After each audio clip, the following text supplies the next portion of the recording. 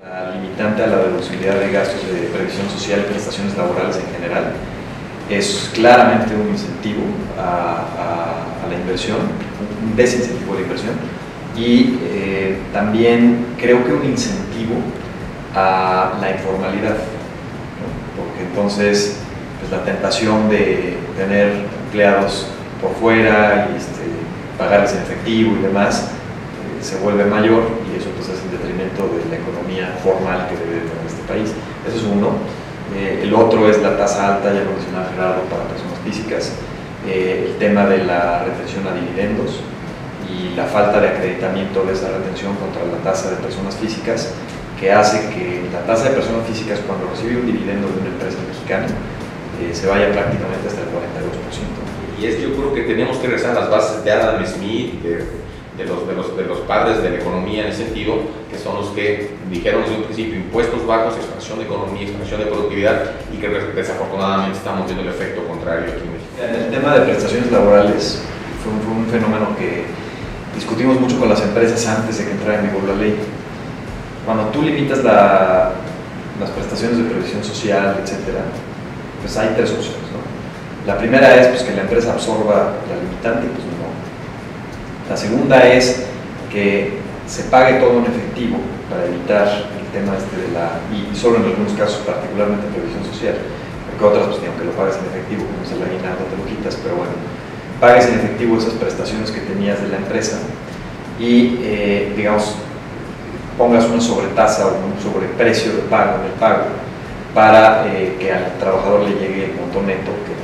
Entonces le, le, vas a decir, oye, pues mira, en vez de vales de despensa por 1.500 pesos, te voy a dar los 1.500 pesos en efectivo, como si fuera parte de tu salario, y te los voy a dar piramidados para que tú pues, recibas los 1.500 ya. ¿no? Y la tercera opción, que es la más perniciosa de todas, yo diría, es decirle, pues sabes que te voy a dar los mismos 1.500 que te daban vales de despensa, ahora te los voy a dar, te los voy a dar en efectivo.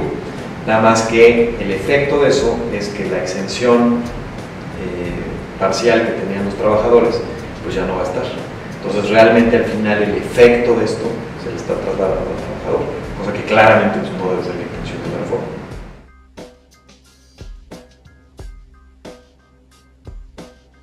Esa pregunta admite una doble respuesta, una respuesta teórica y una respuesta práctica, también con una particularidad que tenemos hoy día en el sistema mexicano.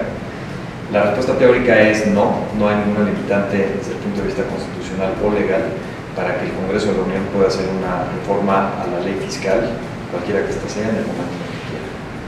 Entonces, si el periodo de sesiones primero del año se considera pertinente hacer una reforma, pues se puede hacer.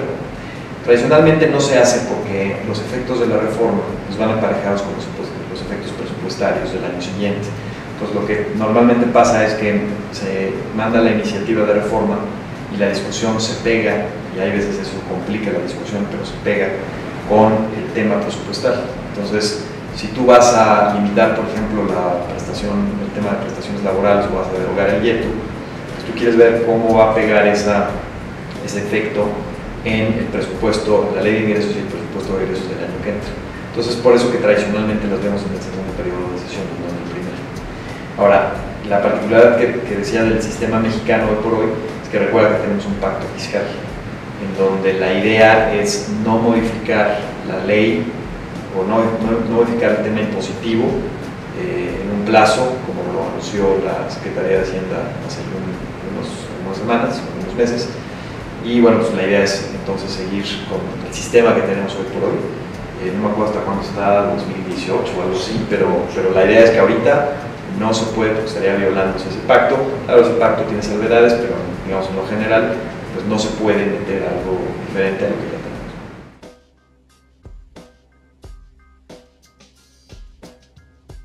Pues mira, eh, esto es lo que tenemos, hay que, hay que trabajar, hay que, hay que cumplir. Eh, yo creo que es importante el nivel de, de, cumplimiento de la ley fiscal en México, a veces es pobre, y entonces pues hay que promover ese cumplimiento. Hoy es lo que tenemos, eh, hay que trabajar por cambiarlo y por mejorarlo.